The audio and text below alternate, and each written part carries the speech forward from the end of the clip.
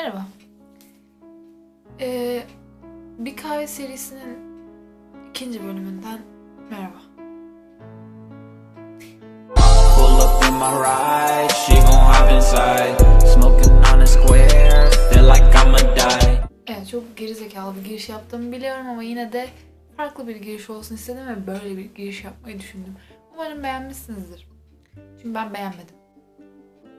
Neyse bugün yine kahvemizi aldık. Bu sefer kahvem yarım. Umarım dökülmez. Neyse. Yalnız benim lastiğim yok. Ah yok onu fark edince şey oldum üzüldüm. Ee, evet bugünkü bölümümüzde neyden bahsediyoruz? Yine La Casa de Papel'den sonra direkt bağlandığım ve çok beğendiğim bir dizi olan Black Mirror. Black Mirror. Black Mirror'dan bahsedeceğiz. Şöyle dizinin en güzel yanlarından biri birbiriyle böyle çok çok minik fark edilir detayları olması. Her bölümde çok ayrı oyuncuların ve çok ayrı konuların dönmesi. Ee, hepsinde çok güzel mesajlar verilmesi ve mükemmel böyle kendine hemen bağlayan bir atmosferinin olması diyeyim. Çok çok güzel bir dizi. Öncelikle bunu söyleyeyim. Ben diziyle ilgili notlar almıştım. Ee, öncelikle e, dizi çok çok önceden çıkan bir dizi. 2011'de çıkan bir dizi. Ve ben 2-3 yıldır falan hep diyordum ki dur Black Mirror izleyeyim, izleyeyim, izleyeyim, izleyeyim, izleyeyim. İzleyemedim. Gerçekten izleyemedim yani. Zaman bulamadım değil de. Tam açayım diyorum bir şey oluyor. Hani bu tarz olan diziler çok var mesela. Vikings'e de çoğu kez başlayacağım dedim. Başlayamadım. Ondan sonra başka hangi diziler var? Ve bu tarz birkaç dizi var yani. Başlayacağım diyorum başlayamıyorum. Yani gerçekten böyle herkesin izlemesini düşündüğüm dizi. Ve hani şey de sorun değil. Mesela birinci sezondan başlıyorsun, dördüncü sezondan başlıyorsun, üçüncü sezonun bilmem kaçıncı bölümünden başlıyorsun. Hiç önemli değil. Her bölümde çok ayrı olaylar var. Şey var mesela ama bir bölümde olan bir şey başka bir bölümde karşınıza çıkabiliyor gibi.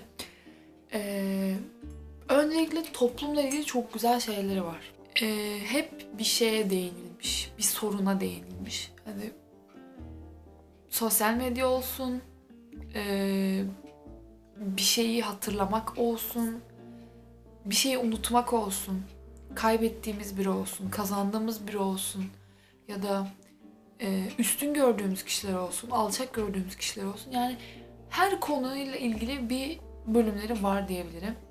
Ben böyle ardarda arda izledim diye mi bana geliyor öyle yoksa genel olarak öyle bir şeyim var bilmiyorum. Birkaç bölümde e, oyunlara da çok güzel şeyler var, göndermeler var. Özellikle şunu göstermem gerekiyor. Ben bir bölümde şu Resident Evil'daki Şimdi kameraya tekrar aynı şeyi koymam. Resident Evil'daki evin aynısını gördüm.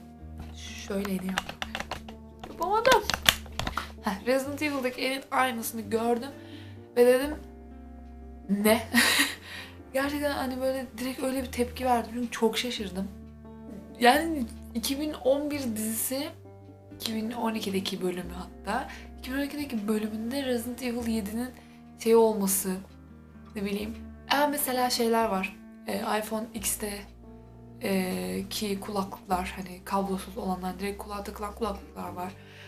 Ee, o zamanlar iPhone 5 vardı hatırladığım kadarıyla.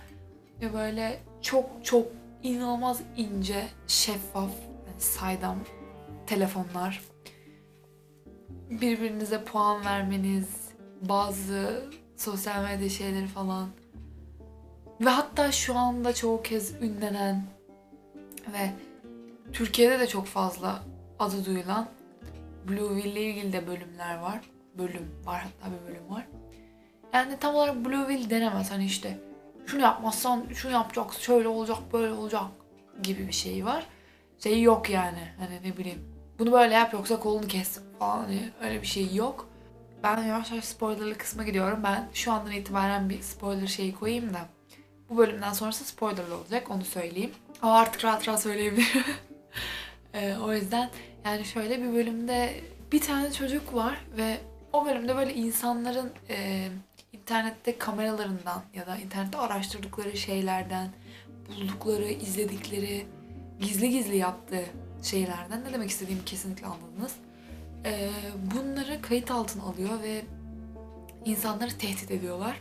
Yani işte eğer ne bileyim şunu şuraya götürmezsen bu videoyu her yere yayınlarız ve hani insanlar düşünüyor toplum bana böyle davranacak. Etrafımdaki insanlar bana böyle davranacak diye düşünüyor.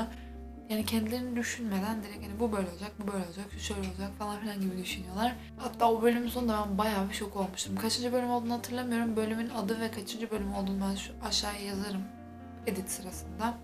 O sıra bakmış olurum zaten. Yani bu tarz insanları şekillendiriyorlar ve o bölüm benim en sevdiğim bölümdü. Diğer bir en sevdiğim bölüm de ilk sezonun üçüncü bölümü. Ee, Entire Story of You'ydu galiba. Bölümün adını hatırlamıyorum ama büyük ihtimal bu olması gerek. Grain diye bir cihaz var kulaklarının arkasında insanların ve bu cihazla işte ekrana yansıtıp ya da kendi gözlerinde e, yaşadığı anıları tekrar tekrar izleyebiliyorlar yakınlaştırarak, yavaşlatarak işte ne bileyim uzakta birini gördüyseniz dudağın ya dudak okuma özelliğiyle ne söylediğini anlayarak böyle çok değişik bir şekilde bir cihaz var. Yani bu olmayınca bazı kişileri dışlıyorlar falan.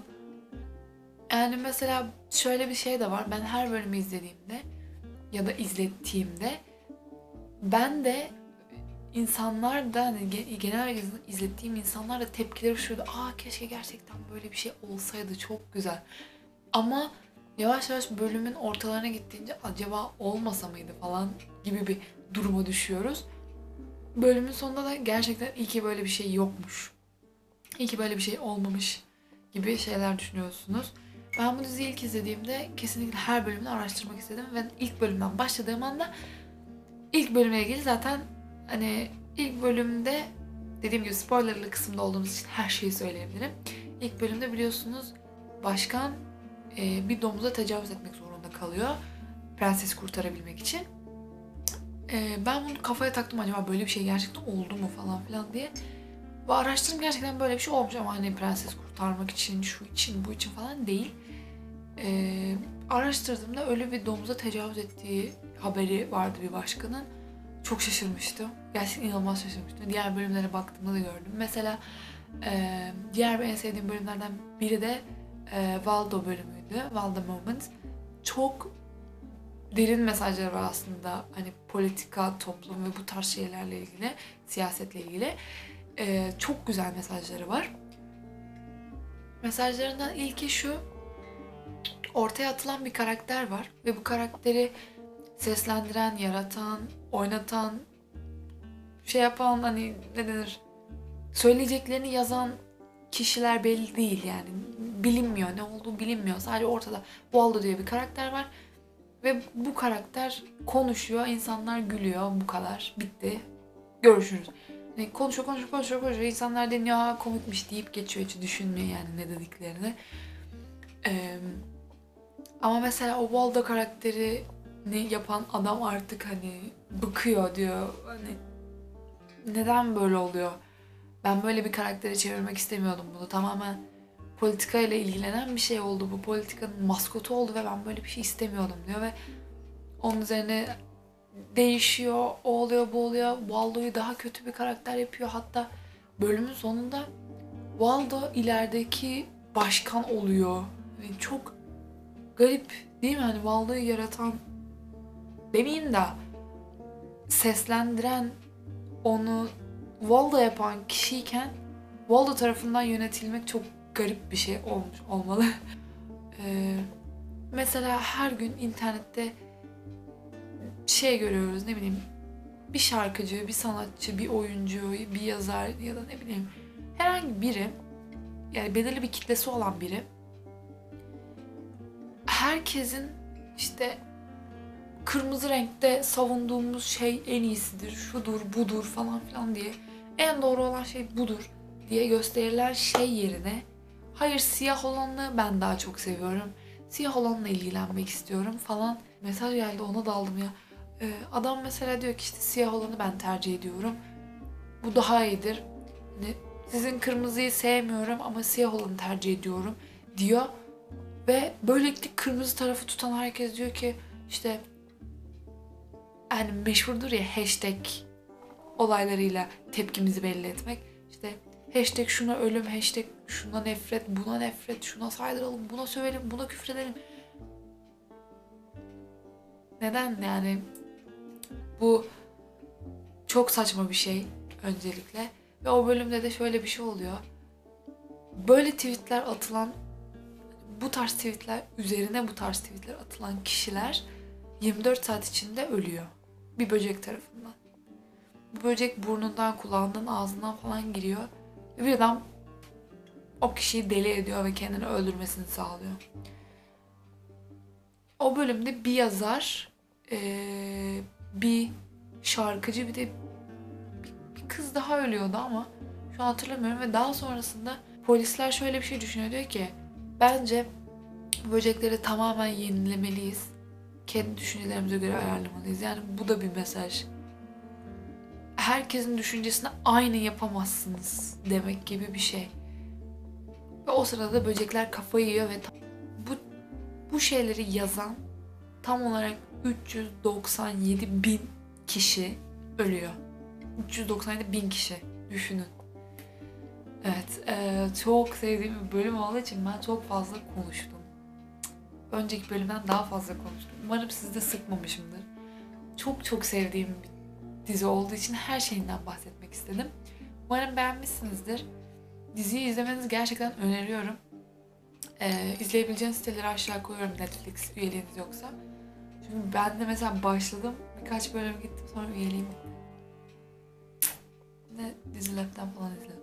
Neyse ben yine de linkleri aşağı koyacağım. izlemeyi unutmayın. Çok çok güzel bir dizi.